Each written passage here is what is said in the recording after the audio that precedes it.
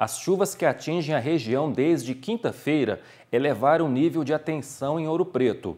De acordo com a Defesa Civil do município, somente no domingo e na segunda-feira, o acumulado somou 90 milímetros em alguns pontos da sede.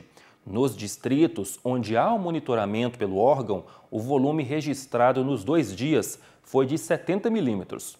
Somente no Parque das Andorinhas, o acumulado ultrapassou os 100 milímetros. Essa situação pluvométrica elevou o nível de monitoramento na cidade para a cor laranja.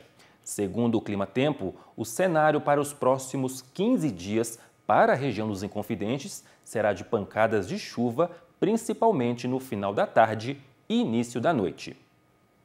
Confira como fica o tempo na região nesta quinta-feira.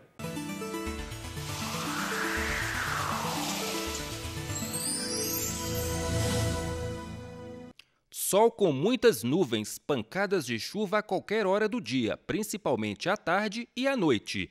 Em Ouro Preto, máxima de 23 graus, Mariana 25, nos distritos de Ouro Preto. Em Rodrigo Silva, os termômetros atingem 24 graus, 26 graus em Amarantina e em Santo Antônio do Salto, máxima de 27 graus.